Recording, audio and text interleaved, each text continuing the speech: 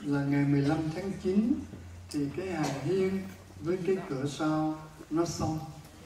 Và chúng ta có mời một đức giám mục từ Việt Nam sẵn dịp ngài đi thăm ở mấy tiểu bang khác. Thì ngài ghé đây để ban phép lành cho cái cửa sau đó. Gọi là cửa sau. Cho nên tôi hay dùng chữ hậu môn. Mà bây giờ nhiều người phản đối quá sức. Nói cha nói bậy bạ. Tiền môn là cửa trước thì cửa sau là hậu môn mà bây giờ hậu môn nó đẹp hơn tiền môn. Nói vậy.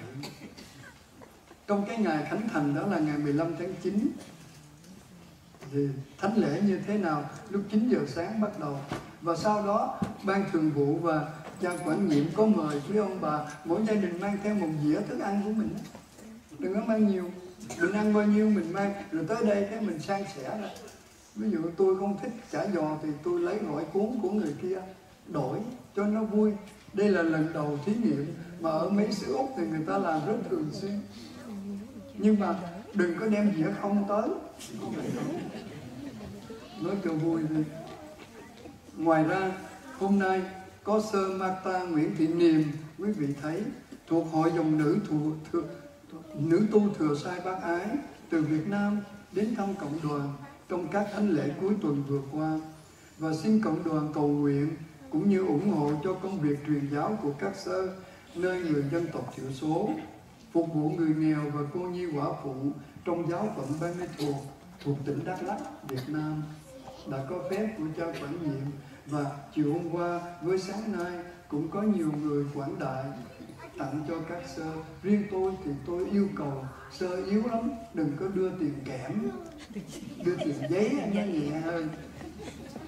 Mà giấy màu xanh lá cây á, là nó nhẹ nhất á. Ai cũng biết là cười. Nói cho vui, nhưng mà tại vì sẵn liên cai tới ca đoàn đó, có một ông cha, thì cái anh mà đánh đàn đó, tự nhiên anh khai bệnh, anh nghĩ, thật ra là ảnh chán ông cha thôi cha nói năng sao đó, ông bỏ. Cái con anh mới tới, thì ông cha cũng đang buồn buồn. Mà tới lại còn hỏi, cha, bữa nay đánh bài gì? Ông có sùng lên đánh bài gì đó? Nhưng mà nghe nè, một chút nữa đó, là tôi có thông báo để quyên tiền trong nhà thờ, để sửa cái mái nhà thờ. Có vậy thôi, anh muốn đánh gì anh đánh. Rồi, thì buổi lễ, sau lễ giống về ông cha nói, hôm nay tôi cần quý vị hứa ai không có tiền đem theo bởi vì xài, thẻ không à. Thì hứa thôi. Ai hứa cho tờ xanh lá cây thì đứng lên. Chưa thấy ai đứng, thì anh chàng đánh đờn, anh đánh cái bài Australian rồi lên cả nhà thờ đứng lên hết. Chào cờ mà, cho nên ai cũng hứa ông cha khoái tôi nhận anh. Không phải chuyện đó. Đây mới là chuyện có thật đây. Là hôm nay kể, con anh tiều phu sống cuộc đời không dính bén.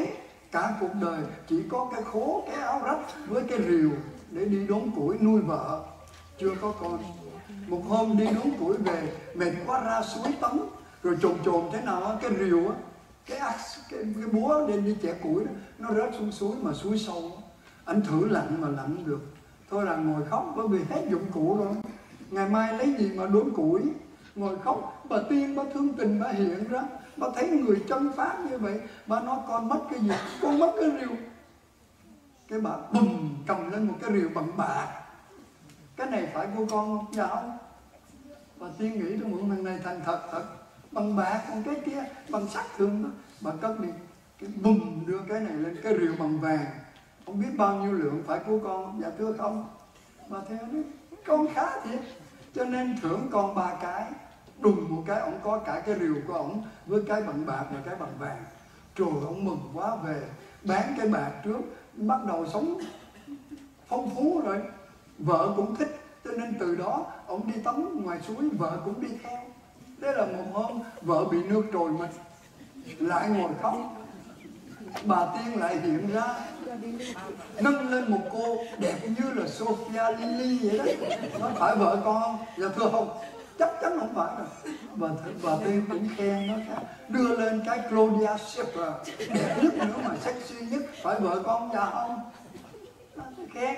Cái bà tiên đưa bà vợ thiệt lên. Phải vợ con dạ cũng không. Mấy cái thằng này kỳ với mày. Sao con lại không nhận đây vợ con? Dạ thưa tiên con nhớ lại hôm trước con nhận cái rìu thì được thưởng hai cái kia bây giờ mà con nhận đây là vợ con, thì con được hai nàng kia, con kham sao nổi? Xin mời cộng đoàn đứng